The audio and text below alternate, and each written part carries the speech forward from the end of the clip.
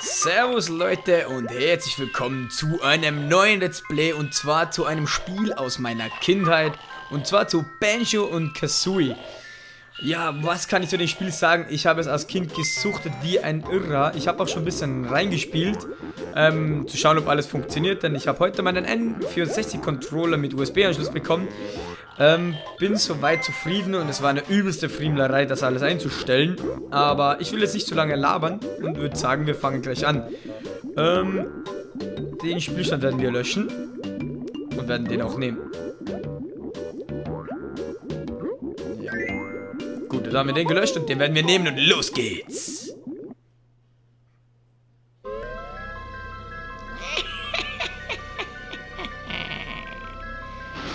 Grundilda, die alte Hexe. Oh, ich kann es euch gar nicht sagen, was das für ein Krampf war. Aber jetzt schauen wir uns die Sequenz an.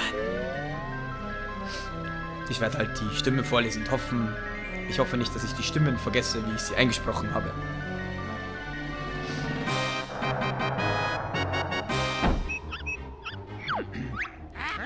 Dingbot, mein Kessel, sage geschwind, wer ist hier das schönste Kind? Was soll ich sagen? Selbstverständlich du, Grundilda. Weise gesprochen, schlauer Topf. Ich habe hier den schönsten Kopf.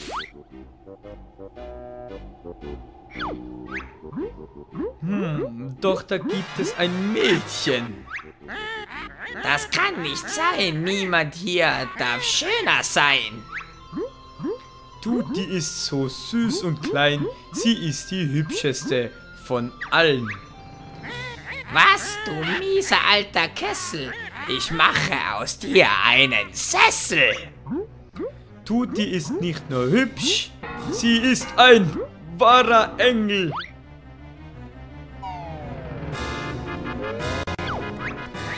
Dem Bies werde ich es zeigen. So seltsam, wenn man etwas reimt davor und dann äh, irgendwie nicht mehr reimen muss. Das ist äh, komisch. Mm -mm -mm. Oh, ich freue mich auf das Spiel so sehr.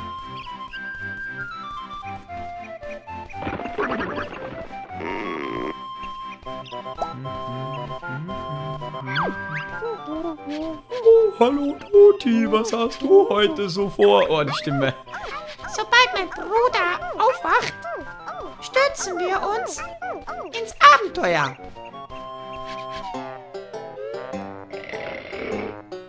So, und hier sieht man jetzt einen unserer Helden. Und hier die zweite Heldin.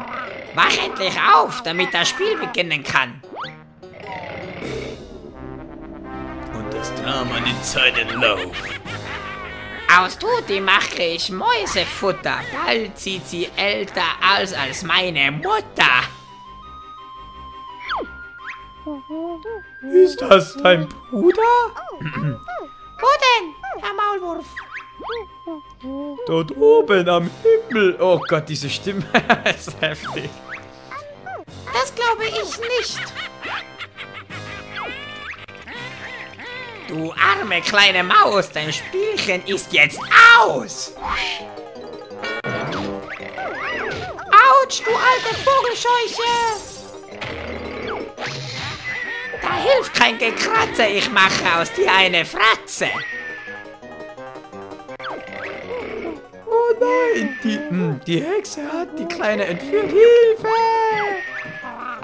Benjo, wach endlich auf. Aufwachen.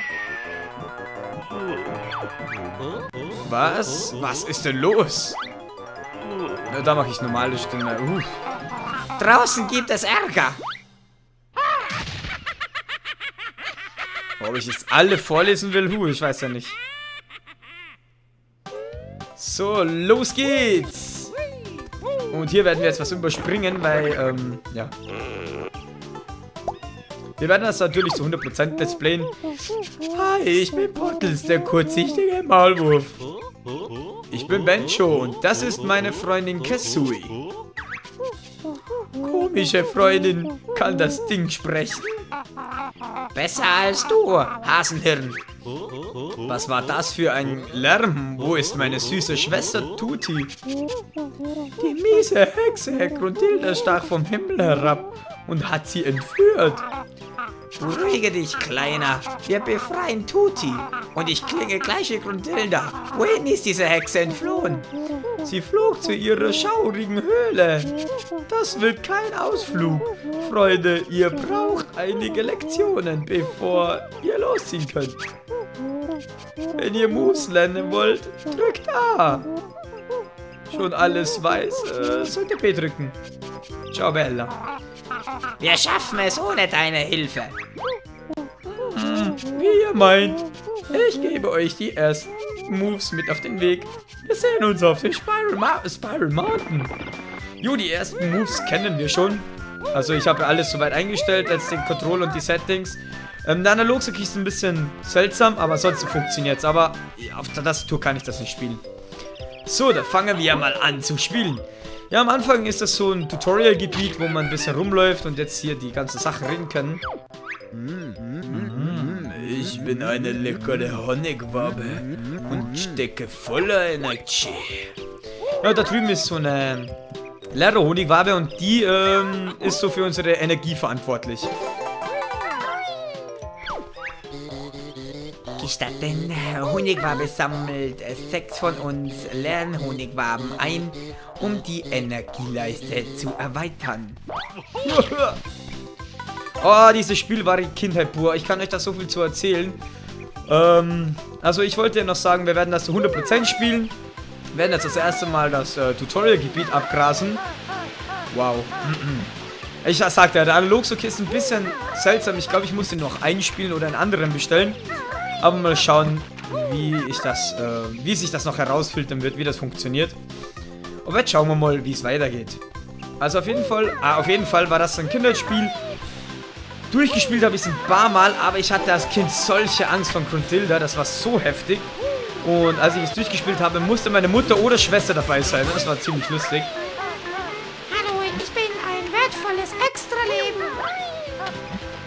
Ja, und Extra-Leben, wenn das mit dem Analogstick nicht hinhaut, werden wir auf jeden Fall brauchen. So, da ist auch noch eine Honigwabe. Ich glaube, am Anfanggebiet bekommt man schon die ganzen, also ein ganzes Leben hin. Wenn mich nicht alles täuscht. So, hoppala. Und ich weiß es soweit noch auswendig. Ist natürlich schon eine Zeit lang her, als ich das gespielt habe. Also es wird sicher ein, Moment, äh, ein paar Momente geben, wo ich failen werde. Aber ich glaube, das werden wir an und für sich souverän durchspielen. Wie ich die Parts aufteilen werde, weiß ich nicht. Ich habe jetzt keinen Timer gestellt, vielleicht das nächste Mal eventuell. Aber ich glaube, so 20, 30 Minuten sind schon drinnen bei den Parts. Ansonsten machen wir das Level abhängig. Aber es kommen im späteren Verlauf des Spiels Level, die boah, bockschwer sind. Ähm, ja, bockschwer. Einfach ein bisschen aufwendiger sind. Ähm, und hier übrigens ist es egal, welchen Stein man erschlägt. Äh, Im letzten ist automatisch die leere Honigwabe drin. Und ich bin ein bisschen auch auf die Kommentare eingegangen. Nicht nur, jetzt, dass ich sie beantworte, sondern habe sie mir schön durchgelesen und muss euch echt zustimmen. Ich sollte das spielen, auf das, was ich Lust habe. Denn ich dachte, Subnautica, aber ich dacht, äh, dachte ich, Subnautica zu spielen. Aber dann meinte ein netter Zuschauer, es wäre doch viel besser, Spiele zu spielen, die ich selbst liebe und feier. Und da ich vielleicht ein paar Geschichten dazu erzählen könnte, meint er auch. Achso, ich kann den Move noch nicht. Und das äh, mache ich mit dem Spiel. So, ich glaube, wir haben jetzt hier alles mal. Das ist Tutorial-Gebiet, so Spiral Mountain. Und eben hier sind so überall so Maulershügel, also die von Bottles, hier. Und da würde er nur sagen, ja, so funktioniert das und das und hier ist das und das und... Ja, das haben wir jetzt ausgelassen, weil die Moves kenne ich und naja, ich glaube, die meisten von euch werden das Spiel kennen. Die, die es nicht kennen, Leute, kauft euch oder, oder legt es euch zu. Natürlich erst kaufen, dann den Emulator. Ich spiele das auch über einen ähm, N64 Project äh, Emulator. Habe aber das Spiel auch natürlich in Real Life. Vielleicht werde ich so einen Ausschnitt hinzufügen, damit man sieht. Denn ich glaube, ansonsten ist das illegal oder so, wie ich das gehört habe und so weiter. Aber jetzt sind wir ruhig und lassen uns quatschen. Ihr seid also bereit, der widerlichen Hexe entgegenzutreten. Und ab, wo geht es lang? Äh, äh, Erdwürfler. Hinter der Brücke liegt Gruntildas Reich. Wir sehen uns dort. Ich drücke euch die Daumen. Hoppala. Ja, und da geht's in Crotilders ähm, Reich. Also das größte, was man meinen dürfte. Und dort oben findet dann der Endkampf statt. Ich spoiler. Aber ich glaube, die meisten kennen das Spiel. So. Oh, Leute, es ist so geil, dieses Spiel zu spielen.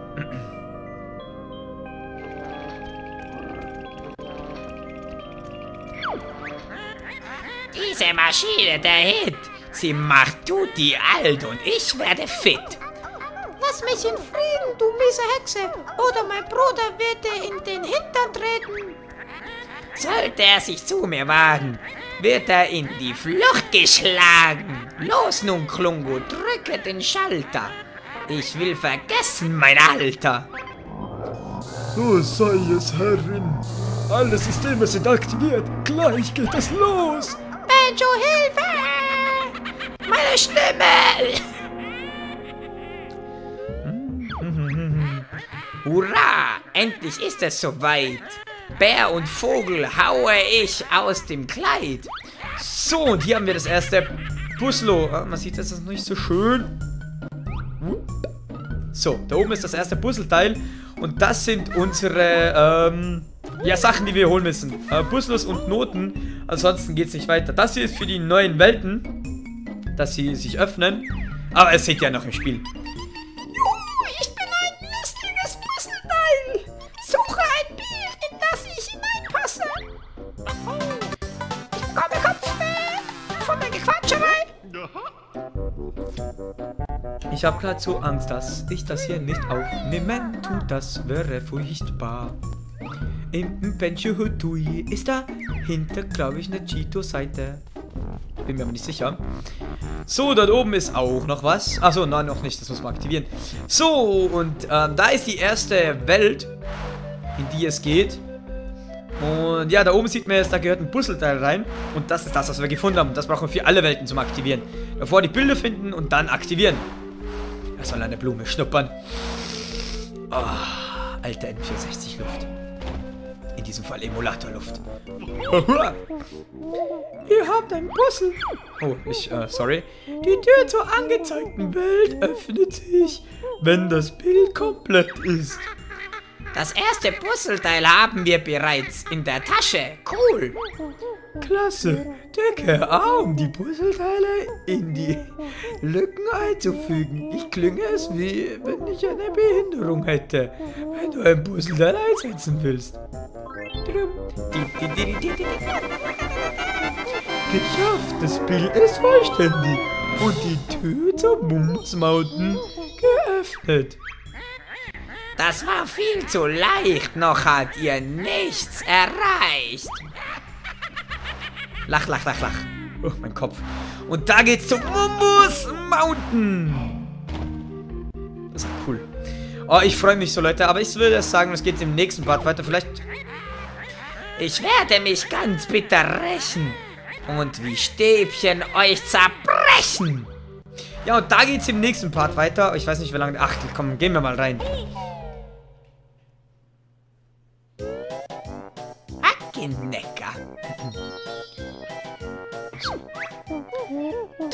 Drei neue Moves könnt ihr in dieser Welt finden. Haltet Ausschau nach meinen Hügeln. So, das sind die ersten Gegner und noch äh, zwei andere Gegner gibt es in dieser Map, obwohl eigentlich nur noch...